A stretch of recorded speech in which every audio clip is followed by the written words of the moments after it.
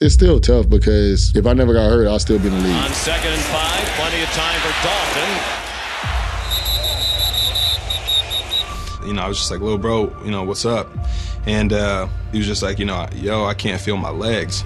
On December 4th, 2017, Pittsburgh Steelers linebacker Ryan Shazier made a tackle that caused a spinal injury that paralyzed him. I hate when people say, man, I understand what you're going through. Have you ever played in front of 10 million people? You felt like you was the best in the world at what you did. You got hurt. You only had to play five more games and you was going to make the Oh, most yeah. money you was going to ever make in your life. And then all of that stopped abruptly. And then you don't know what you're going to do next. Nobody actually understands what you're going through. Obviously, people know the rich tradition of being a Pittsburgh Steeler. How impactful and important was it for you to go to that organization and the impact they had on you? It was a blessing. You talked about how like Tomlin came in, all your teammates were busy. You would have team meetings in the hospital. Like That's the one thing I do like about my time in Pittsburgh. We really built friendships. Guys just really